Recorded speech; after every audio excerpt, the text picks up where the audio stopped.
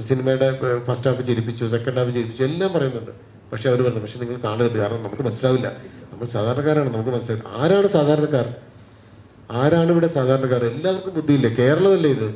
പിന്നെ ആർക്കാണിത് മനസ്സിലാവാതിരുന്നതെന്ന് ചോദിച്ചാൽ മനസ്സിലാക്കാൻ ശ്രമിക്കുന്നവരെ പോലും മനസ്സിലാക്കരുതെന്ന് പറഞ്ഞാൽ നമുക്കൊന്നും പറയാനില്ല.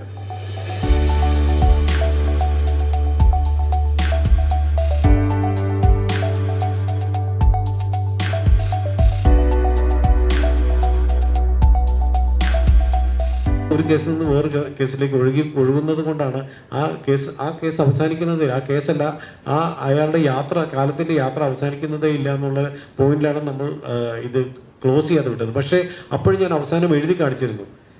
വിഗ്രഹങ്ങൾ സൃഷ്ടിക്കപ്പെടുകയും അപഹരിക്കുകയും ചെയ്യുന്ന കാലം പറയുന്നു ഇന്നത് എന്ന് പറഞ്ഞ് ഞാൻ എഴുതിയിരുന്നു. ഞാൻ കൃത്യമായിട്ട് തന്നെ സ്പൂൺ ഫീഡ് ചെയ്ത് എഴുതിയിരുന്നു. ഒരു പക്ഷേ അത് ആളുകൾ വായിച്ചിട്ടുണ്ടാവില്ല അല്ലെങ്കിൽ വായിച്ചത് പറയാൻ ശ്രമിച്ചിട്ടുണ്ടാവില്ല. അല്ലെങ്കിൽ അത് അങ്ങനെയും ആയിരിക്കാം. അത് അതിന്റെ അവസാനം കൃത്യമായിട്ട് അതിന്റെ അവസാനം പറയുന്നുണ്ട്. വിഗ്രഹങ്ങളെ മോഷ്ടിക്കുകയും അപഹരിക്കുകയും വിഗ്രഹങ്ങൾ സൃഷ്ടിക്കുകയും അപഹരിക്കുകയും ചെയ്യുന്ന കാലം പറയുന്നു. നിങ്ങൾക്ക് ചാട്ടവാറിനാൽ ഒരാളുടെ ആത്മാവിനെ കീഴടക്കാൻ കഴിയില്ല എന്ന് കൃത്യമായിട്ട് അതിന്റെ അവസാനം പറയുന്നുണ്ട്. ഉൾക്കൊള്ളുന്നുണ്ടോ? അല്ല പ്രേക്ഷകർ ഉൾക്കൊള്ളുക എന്ന് പറയുന്നത് പ്രേക്ഷകർ ഉൾക്കൊള്ളുന്നത് കൊണ്ടാണ് അതിനെക്കുറിച്ച് ആളുകൾ എഴുതുന്നത്. ഞാൻ പറഞ്ഞിട്ടുള്ള ആളുകളല്ല ഈ സിനിമയെ കുറിച്ച് എഴുതിയതൊന്നും. എനിക്ക് ഈ സിനിമ എഴുതിയ ആളുകളെ എനിക്ക് പരിചയമില്ല. ഈ സിനിമ കുറിച്ച് എഴുതുന്ന സാഹിത്യകാരന്മാർ സിനിമാ സംവിധായകർ അല്ലെങ്കിൽ എനിക്ക് പരിചയമില്ലാത്ത ആളുകളൊക്കെ എനിക്ക് ഒരു പരിചയമില്ലാത്ത ആളുകൾ എഴുതിക്കൊണ്ടേയിരിക്കുന്നു. അപ്പോൾ അവരോടൊന്ന് എനിക്ക് നേരിട്ട് പരിചയമുള്ള ആളുകളെയല്ല എഴുതുന്നത്. കണ്ണടച്ചാൽ കണ്ണടച്ചിട്ട് എനിക്ക് കാണുന്നില്ല എന്ന് പറഞ്ഞിട്ട് കാര്യമില്ലല്ലോ. കണ്ണ് തുറന്നൊന്ന് മനസ്സ് തുറന്ന സിനിമയെ കാണരുത് എന്ന് പറഞ്ഞാൽ നമുക്കൊന്നും പറയാനില്ല. പക്ഷെ ആ സിനിമ ഇനിയിപ്പോൾ ഒരാൾക്ക് കാണാൻ പറ്റിയില്ല. വേറൊരാൾ പറയുന്നതിൻ പറയുന്നത് ഏ അത് ശരിയേ അല്ല. അങ്ങനെ പറയാനേ പാടില്ല. അങ്ങനെ ഒരു ആർട്ട് ഉണ്ടാക്കാനേ പാടില്ല എന്ന് പറഞ്ഞാൽ ഞാൻ എന്ത് ചെയ്യും? വാൻകോക്കിന്റെ ഒരു പെയിന്റിങ് എടുത്ത് വെച്ചിട്ട് താഴെ നിൽക്കുന്ന ഇത് കുറേ വർണങ്ങൾ ഒരു ക്ലാരിറ്റി ഇല്ല അതിപ്പോൾ പോർട്രേറ്റ് വരയ്ക്കാറുണ്ട് ആളുകൾ. പോർട്രേറ്റ് വരയ്ക്കുന്നു. ഏറ്റവും മനോഹരമായിട്ട് പോർട്രേറ്റ് വരയ്ക്കുന്നു. വാൻകോക്കിന്റെ പെയിന്റിംഗ് എങ്ങനെയാണ് ഇരിക്കുന്നത്?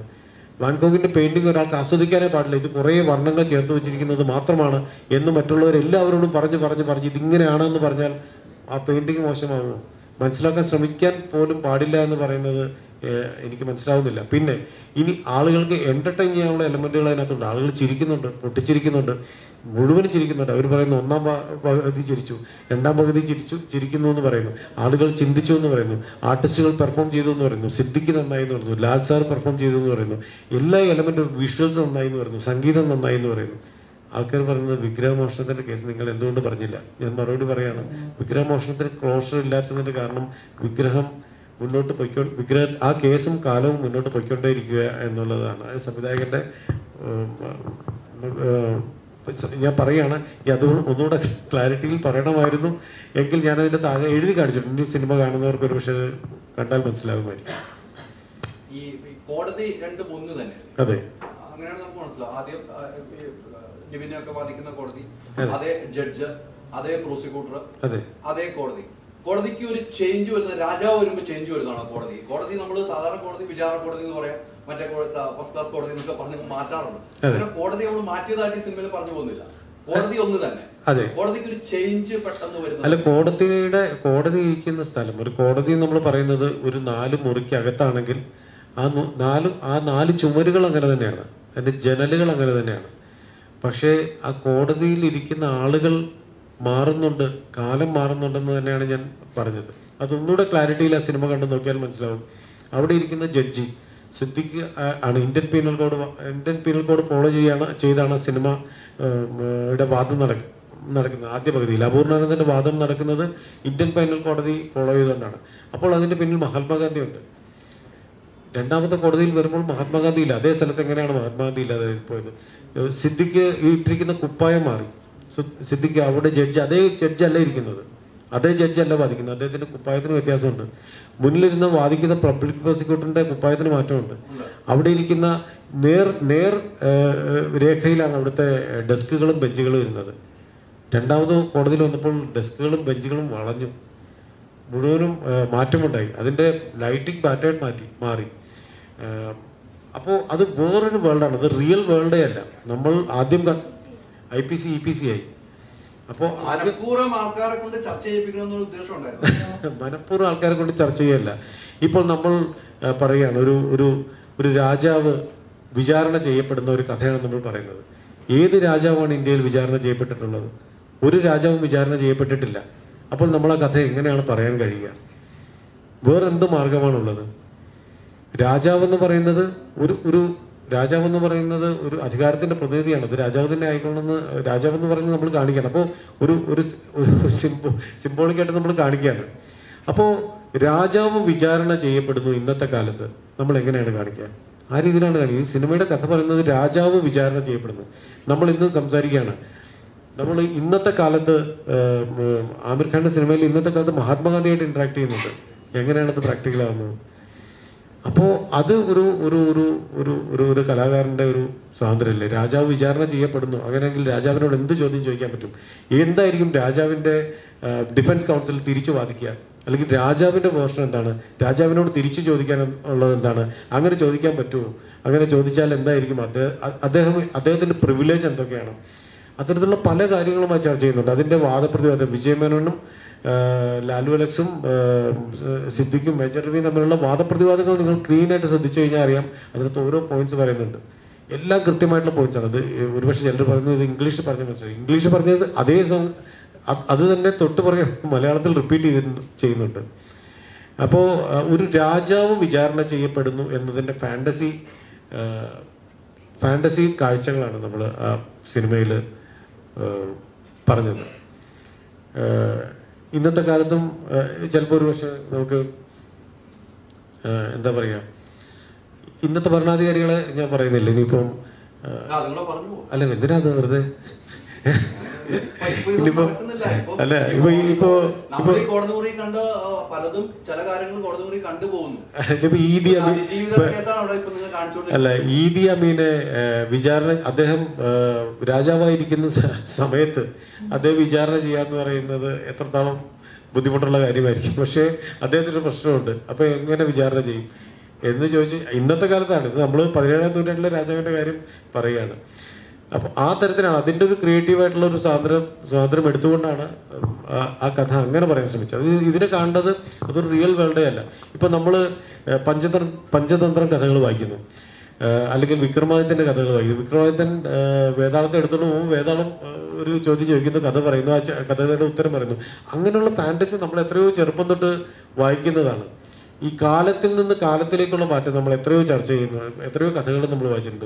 ഒരു യുഗത്തിൽ ജീവിച്ചിരുന്ന ഹനുമാൻ സ്വാമി അടുത്ത യുഗത്തിൽ ജീവിച്ചിരുന്ന ഭീമസേനൻ കല്യാണ സൗകര്യം പറിക്കാൻ വേണ്ടി പോകുമ്പോൾ മുന്നിൽ കിടക്കുന്നു. ഇതാ അപ്പോൾ അതാ വാൽ നീട്ടി കിടക്കുക. അപ്പോൾ ഭീമനോട് പറയുന്നു എനിക്ക് വയ്യാതിരിക്കുക ആ വാലങ്ങടെ മാറ്റിക്കോളൂ. എന്ന് പറയുമ്പോൾ ഭീമൻ ഇത് ഗത വെച്ച് വാൽ മാറ്റാൻ നോക്കുന്നു. പറ്റുന്നില്ല. അപ്പോൾ എന്താണ് കഴിഞ്ഞ യുഗത്തിലുണ്ടായിരുന്ന ഹനുമാൻ സ്വാമിയാണ് ഈ യുഗത്തിലെ അടുത്ത യുഗത്തിൽ ഭീമസേനോട് പറയുന്നത്. ഇത് എടുത്ത് മാറ്റാൻ വേണ്ടി. അപ്പൊ യുഗങ്ങളിൽ നിന്ന് യുഗങ്ങളിലേക്ക് സഞ്ചരിക്കുന്ന കഥാപാത്രങ്ങൾ നമ്മൾ കഥകളിലൂടെ കേട്ടിട്ടുണ്ട്. എവിടെയാണ് അതിനെ ലോജിക്ക് ഇരിക്കുന്നത് നമ്മൾ അതിന്റെ ലോജിക്ക് അന്വേഷിച്ചിട്ടില്ലല്ലോ. മഹാഭാരതത്തിൽ നമ്മൾ പറയുന്ന ഒരു ഒരു മാംസം ഇങ്ങനെ എടുത്തിട്ട് അത് നൂറായിട്ട് മുറിച്ചു എന്നിട്ട് ഭരണിയിലാക്കി ഒന്നുകൂടെ ഉണ്ടായിരുന്നു അതും കൂടെ വെച്ചു അപ്പം നൂറ് മക്കളുണ്ടായി ദുര്യോധനൻ. നമ്മൾ ചോദിക്കുന്നില്ലല്ലോ. ഒരു കഥ അങ്ങനെയല്ലേ? ഒരു കഥ പറയുന്നത് അങ്ങനെയല്ലേ? കഥ പറയുന്ന രീതി അങ്ങനെയല്ലേ? അക്കില്ലസും ഹെക്ടറും കൂടെ നടന്ന യുദ്ധം. ഇലിയഡിനകത്ത് ട്രോയിനകത്ത് പറയുന്നുണ്ട് അഖിലസും ഹെക്ടറും നടക്കുന്ന യുദ്ധം വർഷങ്ങളോളം നീണ്ടു നിന്നു ആ പുസ്തകത്തിൽ എഴുതിയിരിക്കുന്നത്. പക്ഷെ സിനിമയിൽ കാണിക്കുമ്പോൾ അത് ഒരു ദിവസം കൊണ്ടേ കാണിക്കും. ഒരു ദിവസം കൊണ്ട് നടന്ന യുദ്ധമായിട്ട് കാണിക്കുന്നത് അത് അതെല്ലാം താഴെ രാജാക്കന്മാർ യുദ്ധം ചെയ്യുമ്പോൾ മുകളിൽ നിന്ന് ദേവന്മാർ പൂ വർഷിച്ചു എന്ന് പറയുന്നു അതെല്ലാം നമ്മൾ നമ്മളത് അത്തരം കഥകളെല്ലാം നമ്മൾ വായിച്ച് പഠിച്ച നമ്മൾ ചോദിക്കുകയാണ് അല്ല അതെങ്ങനെയാണെന്ന് ചോദിച്ചാൽ അത് എന്നെ റെസ്ട്രിക്ട് ചെയ്യുന്നതിന് തുല്യല്ലേ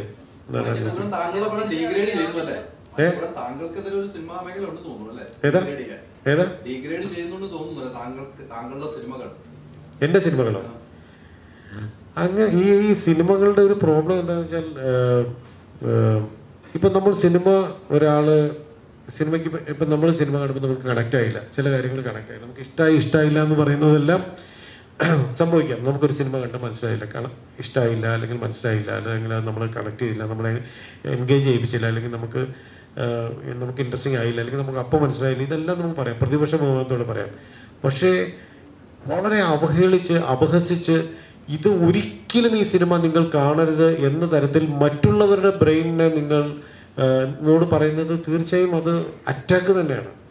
മനസ്സിലായി അത് നിങ്ങൾ ഈ സിനിമ കാണരുതെന്ന് മറ്റു നമ്മൾക്ക് മനസ്സിലായില്ല? ശരി. ഇപ്പൊ ഞാൻ പറയാണ് എനിക്ക് ഒ വി വിജയന്റെ പുസ്തകം വായിച്ചിട്ട് മനസ്സിലായില്ല. അപ്പൊ ഞാൻ പറയും നിങ്ങൾ ഒരിക്കലും ഒ വി വിജയന്റെ പുസ്തകം അതിനകത്ത് മനസ്സിലാകുന്നില്ലാത്ത സാധനമാണെന്ന് ഞാൻ എങ്ങനെ പറയാൻ പറ്റും എനിക്ക്? എന്റെ സെൻസിബിലിറ്റി എന്താണ്? അല്ലേ? അപ്പൊ എനിക്ക് വായിക്കുമ്പോൾ എനിക്ക് ചെറിയ പൈങ്കിളി കഥകളെ എനിക്ക് മനസ്സിലാവുന്നുള്ളൂ. അല്ലെങ്കിൽ എനിക്ക് ബാലരമ മനസ്സിലായി. എനിക്ക് കുറച്ചുകൂടെ മുന്നിലേക്ക് വരുന്ന ഒരു പുസ്തകം എനിക്ക് വായിക്കാൻ മനസ്സിലായി. നിങ്ങൾ ബാലരമ വായിക്കാവുള്ളൂ. അല്ല ബാലരമ നല്ലതാണ്. ഞാൻ ചെറുപ്പം തൊട്ട് ബാലരമ വായിച്ചിട്ടുള്ള ആളാണ്. ടോംസിന്റെ ബോബനും മോളിയും വായിക്കുന്ന ആളാണ്. അതിന്റെ കൂടെ വലിയ പുസ്തകങ്ങളും വായിക്കുന്ന ആളാണ്. അപ്പൊ നമ്മൾ ഇത്രയും നമ്മൾ വായിക്കുന്നുള്ളൂ. ഇതിനപ്പുറം നമുക്ക് വായിക്കാൻ പറ്റുന്നില്ല. കുറച്ചുകൂടെ മുതിർന്ന ഒരു വായന ഇവിടെ വേണ്ടതല്ലേ? അല്ലെങ്കിൽ അങ്ങനെ സിനിമയെ ഇവിടെ വേണ്ട എന്ന് പറയുന്നത് എനിക്ക് മനസ്സിലാവുന്നില്ല. മാത്രമല്ല കുറെ അതായത് എല്ലാവരും നിങ്ങൾ ടിയിൽ വരുമ്പോൾ കണ്ടോളൂ. ഒ ടി ടി അതായത് തിയേറ്ററിൽ ഓടുന്ന സമയത്ത് ഇതിനെ റെസ്ട്രിക്ട് ചെയ്യുക ആളുകൾ. നിങ്ങൾ ഒ ടി ടി വരുമ്പോൾ കാണും കണ്ടോളൂ കുഴപ്പമില്ല. അപ്പോൾ ശരിക്കും പടം പോയിട്ടുണ്ടാവില്ല. വിരോധമില്ല. നിങ്ങൾ ഇപ്പോൾ കാണരുത്. ഇപ്പോൾ കണ്ടാൽ അത് സിനിമയ്ക്ക് ഗുണം ചെയ്യും. അതുകൊണ്ട് നിങ്ങൾ ഇപ്പോൾ ഈ തിയേറ്ററിൽ വാച്ചിന്റെ സമയത്ത് നിങ്ങൾ പോകരുത് എന്ന് മനഃപൂർവം പറയുന്നത് ദ്രോഹം എന്ന് എനിക്ക് പറയാനുള്ളൂ. ഒരാൾക്ക് മനസ്സിലായില്ല. മനസ്സിലായില്ല എന്ന് പറഞ്ഞാൽ എനിക്ക് മനസ്സിലാവും. പക്ഷേ ഇത് കാണുകയേ ചെയ്യരുത് എന്ന തരത്തിൽ കമന്റ് ഇടുന്നത് അങ്ങനെ ഉപദ്രവിക്കുന്നത് മനഃപൂർവമാണ്. ഞാൻ എന്റെ പ്രേക്ഷകരോട് പറയാണ് ഏഹ് മനഃപൂർവം പറയുന്നതിന് നിങ്ങൾ നിങ്ങളൊന്ന് കണ്ടു നോക്കിക്കോളൂ. കണ്ട് ഒന്ന് നോക്കിയിട്ട് നിങ്ങൾ തീർച്ചയായും ഇങ്ങനൊരു സിനിമ പുതിയതായി ഇങ്ങനൊരു സിനിമ മലയാള സിനിമയിൽ വന്നിട്ടില്ല. നിങ്ങൾക്ക് ആവശ്യത്തിന് ചിരിക്കാനും ചിന്തിക്കാനും ഉള്ള വകുപ്പ് ഈ സിനിമയിലുണ്ട്. ഇങ്ങനൊരു സിനിമ വന്നിട്ടില്ല. നാളെ നിങ്ങൾ തിയേറ്ററിൽ ഈ സിനിമ കണ്ടില്ല. എന്ന് പറഞ്ഞ് എഴുതി വെക്കുമ്പോൾ എനിക്കറിയാം ഈ സിനിമ എനിക്ക് ഞാൻ തിയേറ്ററിൽ കാണാൻ പറ്റില്ല എക്സ്പീരിയൻസ് ചെയ്യേണ്ടതായിരുന്നു. അന്ന് ഇത് ഇങ്ങനെ കേട്ടോണ്ട് പോയില്ല എന്ന് ആളുകൾ പറയുമായിരിക്കും. പിന്നെ ആർക്കാണത് മനസ്സിലാവാതിരുന്നതെന്ന് ചോദിച്ചാൽ മനസ്സിലാക്കാൻ ശ്രമിക്കുന്നവരെ പോലും മനസ്സിലാക്കരുതെന്ന് പറഞ്ഞാൽ നമുക്കൊന്നും പറയാനില്ല Malayala cinema Malayala cinema right now ഒരു ഫേസ് ഓഫ് റിയലിസം അല്ലെങ്കിൽ ഫേസ് ഓഫ് ഈ അങ്ങനെയുള്ള റിയലിസം റിയലിസ്റ്റ് സിനിമാസ് ആണ് കൂടുതലും കാണുന്നത് അല്ലെങ്കിൽ ക്രൈം ത്രില്ലേഴ്സ് അപ്പം ഇതിനു മുന്നേ ഇങ്ങനെ ക്രിട്ടിക്കലി അക്ലെയിംഡ് ആയിട്ടില്ലെങ്കിൽ നമുക്ക് towards the towards the climax ഒരു ക്ലാരിറ്റി കിട്ടില്ല എന്ന് പറഞ്ഞ ചുരുളിയായിരുന്നു പിന്നെ അത് അതിനു മുന്നേ ഓസ്കർ വിന്നിംഗ് മൂവി പാരസൈറ്റ് ആയിരുന്നു. അതെ. അപ്പൊ അതിന് പറഞ്ഞു ഇതൊക്കെ പറഞ്ഞത് it's it has got different layers എന്നാണ്. അത് തന്നെ അതിൽ ക്രിട്ടിക്കൽ ക്രിറ്റിക്സിനോട് പറഞ്ഞത് has audience lost its ability to fantasize അപ്പൊ ഞാൻ ഇതിന്റെ ആസ് എ ഡയറക്ടർ ഷുഡായി ഞാൻ എല്ലാവർക്കും സ്പൂൺ ഫീഡ് ചെയ്ത് കൊടുക്കണോ? അല്ലെങ്കിൽ നിങ്ങൾ have you lost your ability to fantasize because movies are all about that അപ്പൊ സേർ ഇപ്പം അങ്ങനെ ഒരു പ്രോബ്ലം ആണോ ഫേസ് ചെയ്യുന്നത്? അല്ല ഞാൻ അങ്ങനെ ഒരു ആക്ച്വലി അങ്ങനെ പ്രശ്നമല്ല. ഇപ്പം ലിജോ ജോസ് പെല്ലിശ്ശേരി ചെയ്യുന്ന സിനിമകൾ അതോട് ചോദിക്കുന്നത് നമുക്ക് മനസ്സിലായി. പല പല രീതിയിൽ പല രീതിയിലും ആ സിനിമയെ ഇന്റർപ്രറ്റ് ചെയ്യുന്നുണ്ട്. പാരസൈറ്റ് പല രീതിയിൽ ഇന്റർപ്രറ്റ് ചെയ്തിട്ടുള്ള സിനിമയാണ്. അങ്ങനെ പല സിനിമകളും ഇവിടെ വരികയും നമ്മൾ അതിന്റെ ചർച്ച ചെയ്യുകയൊക്കെ ചെയ്യുന്ന സ്ഥലത്ത് ഈ സിനിമ ഒരുപാട് ലേയേഴ്സ് തന്നെ ചർച്ച ചെയ്യാനുണ്ട്. ഒരുപാട് ഒരുപാട് ലേയേഴ്സ് ചർച്ച ചെയ്യാനുണ്ട്. ഞാനും ആക്ച്വലി ഇത് ക്ലോസ് ചെയ്യേണ്ട കാര്യമില്ല. ഞാൻ ഞാനത് ക്ലോസ് ചെയ്ത് ഇത് ഇതാണെന്ന് പറഞ്ഞിട്ട് അതിന്റെ രസം കെടുത്തേണ്ട കാര്യമില്ല ആക്ച്വലി. ആളുകൾക്ക് ചിന്തിക്കാനുള്ള ആളുകൾക്ക് ഇമാജിൻ ചെയ്യാനുള്ള അവരവരുടെ രീതിയിൽ ആ സിനിമയുമായി പോകാനുള്ള എല്ലാ സാധ്യതകളും ഞാൻ അടച്ചു കളയേണ്ട കാര്യമില്ല സത്യം പറഞ്ഞാൽ. പക്ഷെ എന്നെ ഫോഴ്സ് ചെയ്യാണ്. നിങ്ങൾ ഇങ്ങനെ പറയൂ ഇങ്ങനെ പറയൂ എന്ന് ഫോഴ്സ് ചെയ്യുമ്പോൾ ഞാനത് പറയാൻ നിർബന്ധിതനായി തീരുന്നു എന്ന് മാത്രം. പിന്നെ ഇവിടെ എത്രയോ വായനകൾ സിനിമകളെ കുറിച്ചാണെങ്കിലും ബുക്കുകളെ കുറിച്ചിട്ടാണെങ്കിലും ഒരുപാട് ഒരുപാട് വായനകൾ നടക്കുന്നു. അങ്ങനെ ഒരു വായനയും അർഹിക്കാത്ത സിനിമയാണ് അങ്ങനെ രണ്ടാമതൊരു കാഴ്ചയോ രണ്ടാമതൊരു വായനയോ അർഹിക്കാത്ത സിനിമയാണ് മഹാവീരർ എന്ന് ഇന്ന് പറയുന്ന ആളുകൾ നാളെ ഈ സിനിമയെ ഇപ്പൊ തന്നെ ഇതിന്റെ വായന ഈ സിനിമ തിയേറ്ററിൽ നടക്കുമ്പോൾ തന്നെ ഇതിന്റെ പലവിധ വായനകൾ നടന്നുകൊണ്ടിരിക്കുന്നു. അപ്പൊ നാളെയും അവർ ഇതിനെ കുറിച്ച് പറയുമ്പോൾ അവർ നിശബ്ദരാകും. കാരണം ഇപ്പോൾ ഈ ലൗഡായിട്ട് ബഹളം ഉണ്ടാക്കുന്ന ആളുകൾ നാളെ നിശബ്ദരാകും. കാരണം അവർ തിയേറ്ററിൽ നിന്ന് പോയി കഴിഞ്ഞിരിക്കുന്നു. ഇനി അതിനെ കുറിച്ച് പറഞ്ഞില്ല. അപ്പോൾ അവർ സൈലന്റ് ആവും. മനഃപൂർവം അങ്ങനെ ചെയ്യുന്ന ആളുകളോട് എനിക്ക് ഓരോരുത്തരും ഓരോരുത്തരോട് പോയി പറയാൻ പറ്റില്ല. എനിക്ക് മീഡിയയിലൂടെ മാത്രമേ പബ്ലിക്കിനോട് പറയാൻ നിവൃത്തിയുള്ളൂ. ഈ സിനിമ അവരവരുടേതായ വീക്ഷണത്തിൽ കാണേണ്ട സിനിമയാണ്. ഈ സിനിമയ്ക്ക് ഈ സിനിമ അതായത് ഇതൊരു ഡ്രൈ ആയിട്ട് അല്ല ഞാൻ ചെയ്തിരിക്കുന്നത്. ഇതിനെ ആളുകളെ ചിരിപ്പിക്കാനും രസിപ്പിക്കാനും അത് കാണിക്കാനും അല്ലാതെ ഞാൻ എങ്ങനെയെങ്കിലും ഒരു തട്ടിപ്പൂട്ട് ഒരു ഒരു പടം എടുത്ത് അങ്ങനെയല്ല ചെയ്തത്. അതിന് ഓരോ ഏരിയയും ഡീറ്റെയിൽ ആയിട്ട് അതിന്റെ അതിന്റെ വിഷ്വൽ സൈഡിലാണെങ്കിലും അതിന്റെ മ്യൂസിക് സൈഡിലാണെങ്കിലും അതിന്റെ പെർഫോമൻസ് ഇനി ഒന്നും വേണ്ട. അതിനകത്ത് ആർട്ടിസ്റ്റുകളുടെ പെർഫോമൻസ് ഉണ്ട്. എല്ലാവരും പറയുന്നു ആ പെർഫോം ചെയ്തിട്ടുണ്ട്. സിദ്ധിക്ക് നന്നായി ലാൽ നന്നായി അല്ലെങ്കിൽ നിവിന്റെ രസമുണ്ട് കോസ്റ്റ്യൂം നല്ലതാണ് അല്ലെങ്കിൽ ആസിഫ് രസമുണ്ട്. എല്ലാം പറയുന്നുണ്ട്. സിനിമയുടെ ഫസ്റ്റ് ഹാഫ് ചിരിപ്പിച്ചു സെക്കൻഡ് ഹാഫ് ചിരിപ്പിച്ചു എല്ലാം പറയുന്നുണ്ട്. പക്ഷെ അവർ പറഞ്ഞു പക്ഷെ നിങ്ങൾ കാണരുത്. കാരണം നമുക്ക് മനസ്സിലാവില്ല. നമ്മൾ സാധാരണക്കാരാണ്. നമുക്ക് മനസ്സിലാവും ആരാണ് സാധാരണക്കാർ? ആരാണ് ഇവിടെ സാധാരണക്കാർ? എല്ലാവർക്കും ബുദ്ധിയില്ല? കേരളമല്ലേ ഇത്? കേരളത്തിൽ അങ്ങനെ കേരളം എന്ന് പറയുന്ന സ്ഥലത്ത് നമ്മൾ ഇത്രയും ബുദ്ധിമാന്മാരായ ആളുകളുണ്ടെന്നാണ് എല്ലാവരും പറയുന്നത്. അവർ പറയും നമുക്ക് പുറത്തുള്ള സ്ഥലങ്ങളെ പോലെയല്ല കേരളത്തിലെ ആളുകൾക്ക് ബുദ്ധിയുണ്ട്. കേരളത്തിലെ ആളുകൾ പ്രബുദ്ധരാണ്. കേരളത്തിലെ ആളുകൾക്ക് വായനയുണ്ട്. കേരളത്തിലെ ആളുകൾക്ക് വിദ്യാഭ്യാസമുണ്ട്. എന്നിട്ട് പറഞ്ഞിട്ട് അവസാനം ഒരു സിനിമ ഇറങ്ങുമ്പോൾ അയ്യോ നമ്മൾ സാധാരണക്കാരൻ നമുക്ക് അത്രയും ബുദ്ധിയില്ല. എന്ന് പറയുന്നത് എന്താണെന്ന് എനിക്ക് മനസ്സിലാവുന്നില്ല. നമുക്ക് ബുദ്ധിയുള്ള ആളുകളല്ലേ? നമ്മൾ വായിക്കുന്ന ആളുകളല്ലേ? നമ്മൾ എത്രയോ ചെറുപ്പം തൊട്ട് നമ്മൾ പുസ്തകങ്ങൾ വായിക്കുന്ന ആളുകളാണ്. നമ്മൾ ചെറിയ ചെറിയ കാലം തൊട്ട് നമ്മൾ പുസ്തകങ്ങൾ വായിക്കുന്ന ആളുകളാണ്.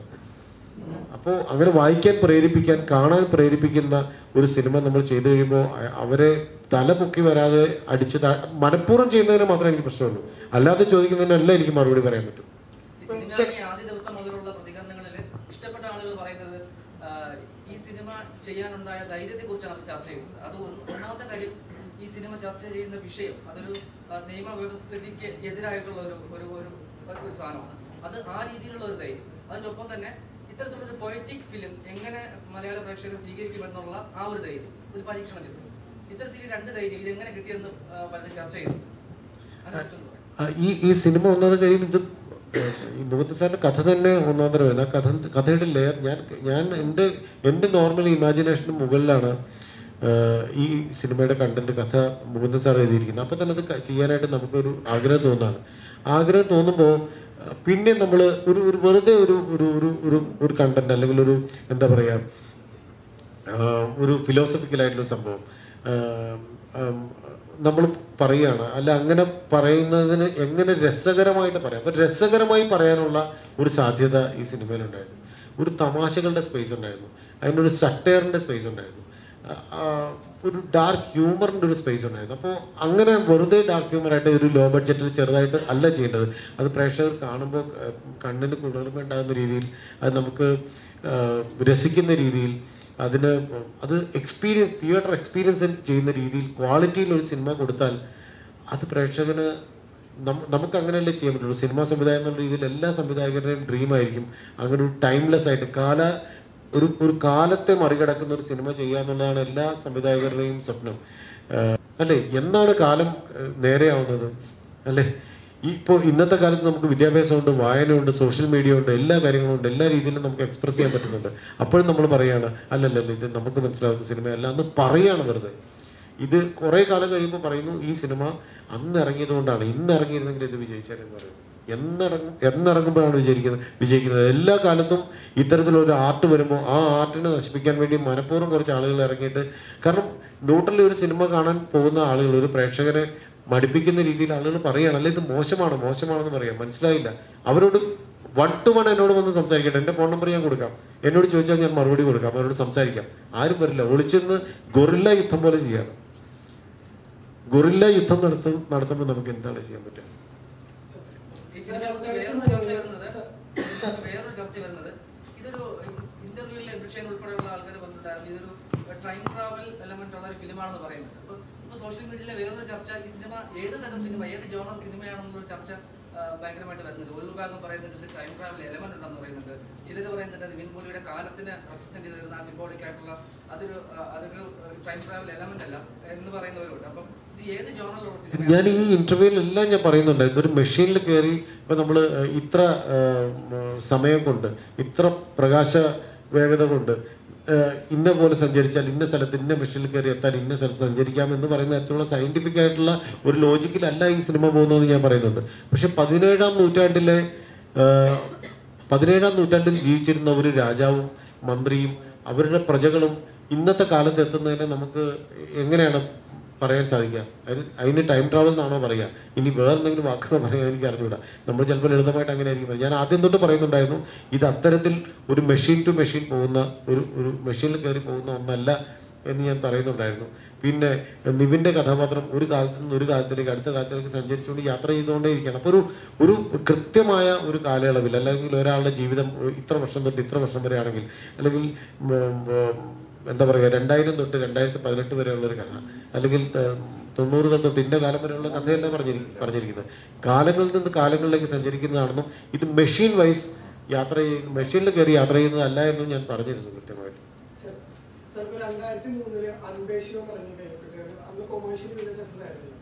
വർഷങ്ങൾക്ക് ശേഷം സുമൻസി കൊടുത്തൊരു പറഞ്ഞു പറയാണ് എന്തുകൊണ്ടാണ് പോലൊരു സിനിമ ചെയ്യാത്തതെന്ന് വെച്ച് കഴിഞ്ഞാൽ അദ്ദേഹത്തിന് ദേഷ്യം വരുന്നതാണ് പറഞ്ഞത്. കാരണം അദ്ദേഹം ഇപ്പൊ ചെയ്യുന്ന സിനിമ നോക്കാൻ പക്ക സോക്കോൾ കൊമേഴ്ഷ്യൽ സിനിമകളാണ്. അപ്പൊ കാലത്തിന് മുമ്പ് സഞ്ചരിച്ച സിനിമകൾ നമ്മൾ കൊമേഴ്ഷ്യലി അല്ലെങ്കിൽ ആൾക്കാർ കയറി ജയിപ്പിക്കാത്ത കൊണ്ട് ആ ഒരു ഡയറക്ടേഴ്സ് ആ ജോണർ തന്നെ വിട്ട് വേറൊരു സീസണിലേക്ക് മാറുന്ന കാഴ്ചകൾ നമ്മൾ ഇതിനു മുമ്പ് കണ്ടിട്ടുണ്ട്. അപ്പൊ സാർ ഇനിയും ചെയ്യുമ്പോഴത്തേക്കും ഇതിനും ഡിഫറെന്റ് ആയിട്ടുള്ള സിനിമകൾ എക്സ്പെക്ട് ചെയ്യാറ് എന്താ സംഭവം എന്ന് വെച്ചാൽ നമ്മൾ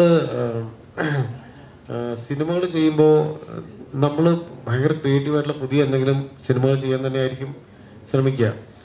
പുതിയത് എന്ത് ചെയ്യാൻ പറ്റും? പുതിയ പുതിയതായിട്ട് നമുക്ക് എന്തായിരിക്കും പ്രേക്ഷകന് കൊടുക്കാൻ കൊടുക്കാൻ പറ്റുക? കാണാൻ വേണ്ടി പറയുക. ഈ സിനിമ സിനിമ എന്ന് പറയുന്ന ലോകത്തിലേക്ക് നമുക്ക് എങ്ങനെയാണ് കോൺട്രിബ്യൂട്ട് ചെയ്യാൻ പറ്റുക? പിന്നെ സിനിമ മോശമാണെങ്കിൽ ഒരു സിനിമ മോശമാണെങ്കിൽ അത് ഒന്നടങ്കം മോശം പറയുകയാണെന്ന് വിചാരിക്കാം ഞാനും ഞാനും അത് സറണ്ടർ ആവും. ആരും എനിക്ക് എനിക്ക് വേണ്ടി പറയുന്നില്ല.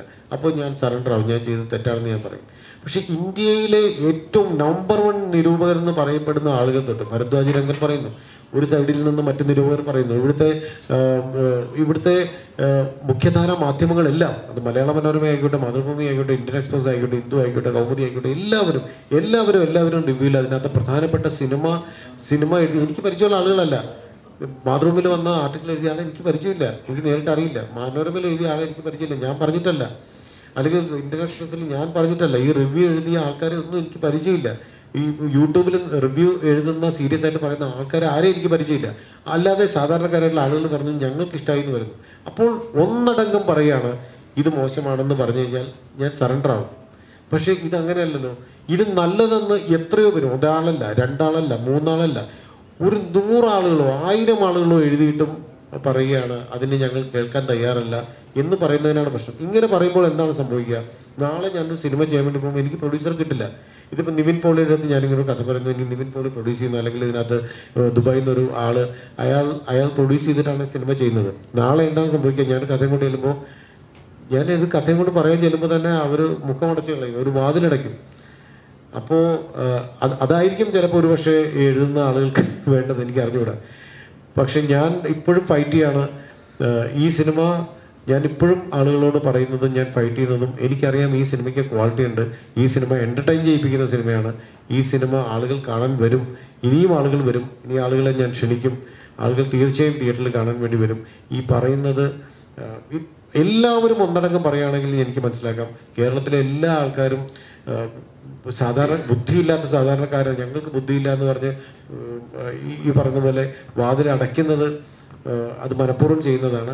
അതല്ലാതെ ഈ സിനിമ ഇഷ്ടപ്പെടുന്ന ആളുകളുണ്ട്. എന്നെ വേണമെങ്കിൽ എന്നെ നേരിട്ട് വിളിക്കാം. എന്തെങ്കിലും ക്ലാരിറ്റി പ്രോബ്ലംസ് ഉണ്ടെങ്കിൽ ഞാൻ പറഞ്ഞു കൊടുക്കാം. ഇനി ഒരിക്കൽ കൂടെ സിനിമ കാണാനുണ്ടെങ്കിൽ ഞാനോട് കൂടെ വരാം കാണാനായിട്ടെന്ന് എനിക്ക് പറയാനുള്ളത് സാറേ ഈ മലയാളികളുടെ ഒരു മുൻധാരണയാണോ? എനിക്ക് ഈ സിനിമ മനസ്സിലാവില്ല എന്നുള്ളൊരു പിടിവാശി ഉള്ളതായിട്ട് സാറിന് തോന്നിയോ? ആ സമയത്ത് തന്നെ നോളന്റെ സിനിമകൾ ഇവിടെ കൈയടിക്കുകയും പ്രോത്സാഹിപ്പിക്കുകയും സ്റ്റാറ്റസ് ഇടുകയൊക്കെ ചെയ്യുന്നുണ്ട്. ഇതെനിക്ക് മലയാള സിനിമയാണ് ഇതെനിക്ക് മനസ്സിലാവില്ല എന്നുള്ളൊരു പിടിവാശി ഉള്ളതായിട്ട് സാറിന് തോന്നിയോ? അല്ല മലയാളികളല്ലല്ലോ. മലയാളി ഞാനും മലയാളിയല്ലേ? ഞാനും മലയാളി. ഈ സിനിമ ചെയ്ത് ഞാൻ മലയാളിയാണല്ലോ. ഈ സിനിമ നല്ലതെന്ന് പറയുന്ന ആളുകൾ മലയാളികളാണല്ലോ. അപ്പൊ ഒന്നടങ്കം മലയാളികൾ എന്ന് പറയാൻ പറ്റില്ലല്ലോ. ചിലർ അതെന്താന്ന് വെച്ചാൽ അത് അത് പല കാരണങ്ങൾ കൊണ്ടാണ്. ഇപ്പോഴത്തെ കാലത്ത് സിനിമയുടെ പ്രോബ്ലം എന്താ വെച്ചാൽ ചിലപ്പോൾ സിനിമയുടെ ഓഡിയൻസ് ലിമിറ്റഡ് ആണ്.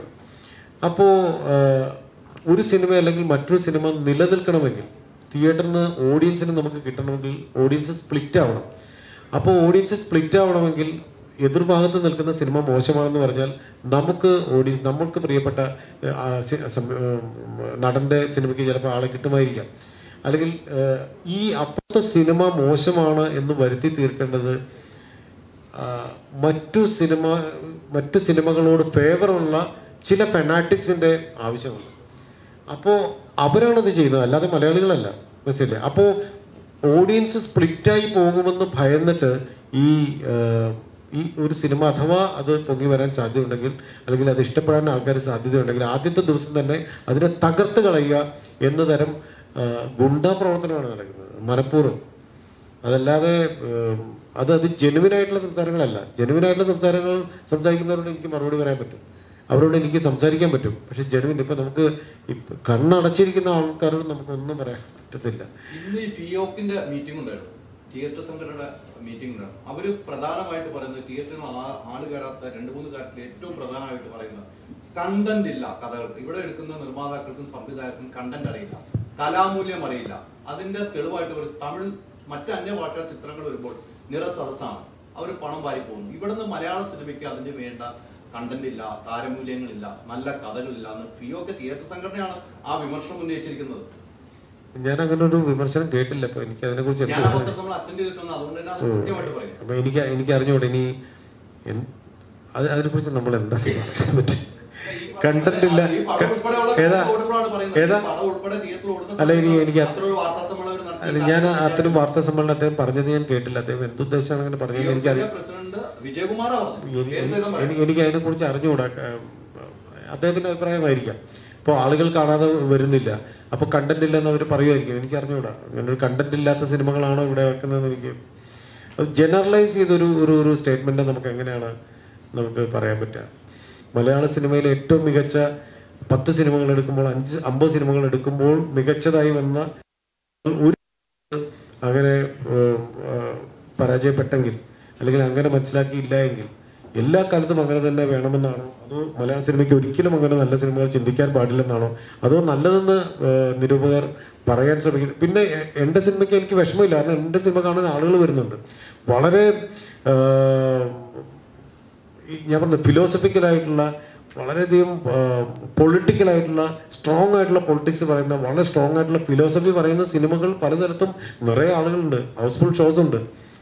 അപ്പോൾ പരിപൂർണമായിട്ടും നമ്മുടെ സിനിമയ്ക്ക് ആളുകൾ വരുന്നില്ല എന്ന് പറയാൻ പറ്റില്ല. ചിലപ്പോൾ നമ്പർ ഓഫ് തിയേറ്റേഴ്സ് കൂടുമ്പോൾ ഒരുപാട് തിയേറ്ററിൽ നമ്മുടെ പടം റിലീസ് ചെയ്തിട്ടുണ്ട് അപ്പം നമ്പർ ഓഫ് തിയേറ്റേഴ്സ് കൂടുമ്പോഴുള്ള ചില സ്ഥലങ്ങളിൽ ആളുകൾ നിറയാതിരിക്കുന്നുണ്ടാവാം. പക്ഷെ നമ്മുടെ സിനിമയ്ക്ക് ആളുണ്ട് പല സ്ഥലത്ത്. ഞാൻ ഇന്നലെ രാത്രിയിലത്തെ ഷോയ്ക്ക് പോകുമ്പോഴും എയ്റ്റി നയന്റി പെർസെന്റ് ആൾക്കാരുണ്ട്. അപ്പം നമ്മുടെ സിനിമയ്ക്ക് തിയേറ്ററിൽ ആൾ കയറുന്നില്ല എന്ന് പറയാൻ പറ്റില്ല. നമ്മുടെ സിനിമയ്ക്ക് നല്ല ഷെയർ വന്നിട്ടുണ്ട് ഇതുവരെ. തിയേറ്ററിൽ ഷെയർ വരുന്നുണ്ട് കളക്ഷൻ വരുന്നുണ്ട് ആളുകൾ കയറുന്നുണ്ട്. പക്ഷേ കുറച്ചുകൂടെ വൈഡായിട്ടുള്ള റിലീസായിരുന്നു നമ്മുടെ. അതുകൊണ്ട് ചിലപ്പോൾ നമുക്ക് ചില തിയേറ്ററുകളിൽ ആളില്ലാതെ വന്നിട്ടുണ്ടാവും. പക്ഷെ അതല്ലാതെ പല തിയേറ്ററിലും നമുക്ക് ആളുണ്ട് ഞാൻ ഇന്നലെ പോയി ഷോയ്ക്കും ആളുണ്ടായിരുന്നു?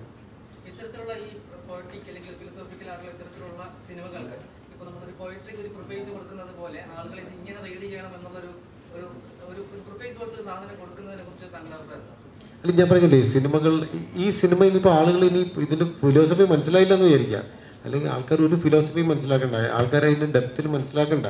ആളുകൾ അതിന്റെ രാഷ്ട്രീയം ചർച്ച ചെയ്യണ്ട. പോട്ടെ ചിരിക്കാവല്ലോ. അതിനകത്ത് ചിരി കാണുന്നുണ്ട് അതിനകത്ത് കാഴ്ചകളുണ്ട്. ഈ കാഴ്ച മനസ്സിലാക്കാൻ എന്താ? ഒരു മനസ്സിലാക്കാനുള്ള ബുദ്ധിമുട്ടുള്ളൊന്നുമില്ല ഇത് നമ്മുടെ നമ്മുടെ നമ്മുടെ കേരളത്തിൽ ഏറ്റവും കൂടുതൽ രാഷ്ട്രീയം ചർച്ച ചെയ്യുന്ന ആൾക്കാർ ആർക്ക് ആരെന്നറിയാമോ? നമ്മുടെ ചായക്കടയിൽ നമ്മുടെ നാട്ടിൽ നമ്മൾ ഞാനൊക്കെ നാട്ടിൻപുറത്ത് ജീ വളർന്ന മനുഷ്യനാണ്. ഞാൻ നാട്ടിൻപുറത്തിരിക്കുമ്പോൾ അവിടുത്തെ ചായക്കടകളിൽ ഇരിക്കുന്ന ചേട്ടന്മാർ പത്രം വായിച്ചിട്ട് ചർച്ച ചെയ്യുന്ന അത്രയും വലിയ രാഷ്ട്രീയം ഒരു പക്ഷേ ഒരു പത്രമാധ്യമത്തിൽ നിന്ന് ചർച്ച ചെയ്യുന്നുണ്ടാവില്ല. ആഗോള രാഷ്ട്രീയമാണ് അവർ ചർച്ച ചെയ്യുന്നത്. ആഗോള രാഷ്ട്രീയം ചർച്ച ചെയ്യുന്ന തരത്തിലുള്ള ആഴത്തിലുള്ള വായനയും അറിവുമുള്ള ആളുകൾ നമ്മുടെ നാട്ടുപുറങ്ങളിൽ വരെയുണ്ട് അല്ലേ? അപ്പോൾ നമുക്ക് അവർ അവർ നമ്മൾ അണ്ടർ എസ്റ്റിമേറ്റ് ചെയ്ത് കാണേണ്ട കാര്യമില്ല. അവർക്കെല്ലാം ബുദ്ധിയുണ്ട്. കണ്ടാൽ മനസ്സിലാവും. ഇതെന്താണ്? കണ്ടാൽ മനസ്സിലാവാനുള്ള പാടെന്താണ്? പതിനേഴാം നൂറ്റാണ്ടിൽ നടന്ന ഒരു രാജാവിന്റെ പ്രശ്നമാണ് നമ്മൾ ആദ്യം തന്നെ കാണിക്കുന്നുണ്ട്. ആ രാജാവ് ഇന്നത്തെ കാലത്ത് ഇന്നത്തെ കാലത്തെ കോടതിയിൽ അല്ലെങ്കിൽ ഈ എന്താ പറയുക ഇന്നത്തെ കാലം പുതിയ കാലത്തെ പോലത്തെ കോടതി മുറികളിൽ ഇന്ത്യയിൽ നിന്നല്ല ലോകത്തെവിടെ വേണമെങ്കിലും വിചാരണ ചെയ്യപ്പെട്ടിരുന്നെങ്കിൽ എന്ത് സംഭവിക്കുമായിരുന്നു എന്നാണ്. ഈ കഥയിൽ എന്താണ് മനസ്സിലാക്കാനുള്ളത്? എന്തെങ്കിലും മനസ്സിലാക്കാനുണ്ടോ? പതിനേഴാം നൂറ്റാണ്ടിൽ ഒരു രാജാവ് ഒരു ക്രൈം ചെയ്തു. ആ ക്രൈം ഇന്നത്തെ കാലത്ത് വിചാരണ ചെയ്യപ്പെടുകയാണെങ്കിൽ എന്താണ് ചെയ്യുന്നത്? എന്താണ് സംഭവിക്കുക? അങ്ങനെയെങ്കിൽ അയാൾ ആ വിചാരണ ചെയ്യപ്പെടുന്ന ആ എന്താ പറയുന്ന പരാതിക്കാരന് പരാതിക്കാരന് നീതി കിട്ടുന്നുണ്ടോ? എന്തുകൊണ്ട് നീതി കിട്ടുന്നില്ല? എന്തൊക്കെ വാദപ്രതിവാദങ്ങളാണ് അങ്ങോട്ട് ഉണ്ടാകുന്നത്? ഈ രാജാവിന്റെ ഭാഗത്തു നിന്നുള്ള ശരികൾ എന്തൊക്കെയാണെന്നാണ് രാജാവ് രാജാവിനെ പൂർണമായിട്ട് നമ്മൾ തള്ളി പറയുന്നില്ല രാജാവ് രാജാവിന്റെ ഭാഗത്തു നിന്ന് പറയുന്നുണ്ട്. പരാതിക്കാരൻ പരാതിക്കാരന്റെ വാദം കോടതിയിൽ പ്രൊസീ പ്രൊസീജിയർ എങ്ങനെയാണ് നടക്കുക? അതിന്റെ വാദപ്രതിവാദങ്ങൾ എന്താണ് നടക്കുന്നത്? അതിന്റെ ശരികൾ എവിടെയാണ്? അതിന്റെ തെറ്റുകൾ എവിടെയാണെന്നുള്ള ചർച്ചകളാണ് അതിൽ പോകുന്നത്. പക്ഷേ അതൊരു ഡ്രൈ ആയിട്ടുള്ള ചർച്ചയല്ല. അത് ആളുകൾ ചിരിപ്പിച്ച് രസിപ്പിച്ചിട്ടാണ് അത് പോകുന്നത്. അപ്പോൾ നമ്മൾ അങ്ങനെ മുൻപ് ഏറി ഏറിപ്പോയാൽ നമുക്ക് പറഞ്ഞു കൊടുക്കാവുന്ന ഇത് ഇതല്ലേ? ഇന്ന പോലെ രാജാവ് ഇന്ന കാലത്ത് ചർച്ച വിചാരണ ചെയ്യപ്പെടുന്നു. രണ്ട് തരം വിചാരണകളാണ്. ഇതാണ് നമുക്ക് പറയാനുള്ളത്. ഇതിനപ്പുറം എല്ലാ കാഴ്ചകളും നമുക്ക് മനസ്സിലാവുന്നതാണ്. പിന്നെ കുറച്ച് ആളുകൾ പറഞ്ഞു ഇംഗ്ലീഷ് മനസ്സിലായില്ല എന്ന് പറഞ്ഞു. കുറെ പോയിന്റ്സിൽ ഇംഗ്ലീഷ് പറയുന്ന അതുപോലെ തന്നെ നമ്മൾ മലയാളത്തിൽ റിപ്പീറ്റ് ചെയ്യുന്നുണ്ട്.